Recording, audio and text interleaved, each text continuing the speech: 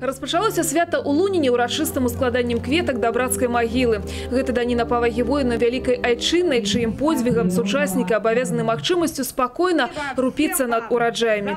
Потым тое, чаго 580-гадовы лунін чакаў даўно пуск блакітнага паліва. Аграгарадок стаў чарговым населеным пунктам, куды прыйшоў газ.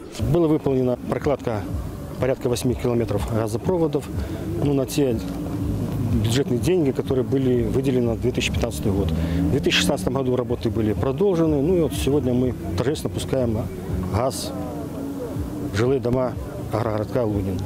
Каля 20 кіламетраў агульнай сеткі газаправода праведзена падчас газифікацыі населенага пункта. 445 жыхароў аграгарадка подключились до блакітнай сеткі Брэшчыны. Конечно, это же мы ждали сколько лет. И все, Улька уже провела, Полецкий провел, дочка с газом, ну а мы уже на старость. Вы что? Конечно, это, знаете, намного легче. Легче всего, не надо эти дрова, мусора меньше Блакітны агеньчык запалены можна і пасвяткаваць. Святочным маршам у суправаджэнні духовага архестра урачыстая калона прайшла па галоўнай вуліцы Луніна.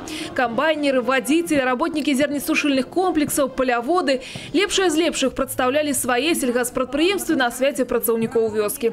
84 экіпажы камбайнаў, 139 аўтамабіляў, 17 зернесушыльных комплексаў было задзейнічана падчас уборачнай кампаніі 2016. 51 500 мы набрали весь хлебный каравай. Нас в основном, так как у нас не очень плодородные земли, 18 тысяч вала мы взяли, это зимой рожь, 16 тысяч мы взяли, это пшеницы, 12 800 мы взяли э, на сегодняшний день, это зимотритикали. Ну и остальное ячмени идут, зернобобовые смеси. В основном вот так у нас сложился в этом году. Лунінеччына один з найбольш паспяховых раёнаў вобласці ў аграрным сектары. І гэта пры тым, што ураджайнасць яе земляў усяго 26 балаў. Праца ў асаблівых умовах патрабуе асаблівых высілкаў, таму адказнасць за асабісты ўклад адчувае кожны з працаўнікоў. Уборка у меня уже 17 уже, с 99 -го года уже работаю на комбайне. Отец работал раньше, брат работал, потом я уже поколение дальше поддерживаю и на хороших ролях. Последние места никогда, первые, первое, второе, третье, как обычно Кожны з удзельнікаў жніва атрымаў заслужаныя ўзнагароды за руплівую працу. Свае падарункі на адрас хлебаробаў адрасавалі творчыя калектывы Лунінеччыны.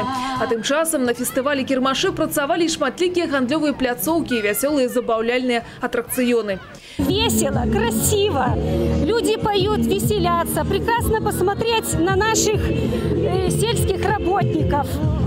Торговые ряды, посмотрите, веселье, радость. Ну что можно сказать? Только жить и радоваться. Мария Кобіць, Ірина Нікітіна, Олександр Дяченко, телерадіокомпанія «Брест».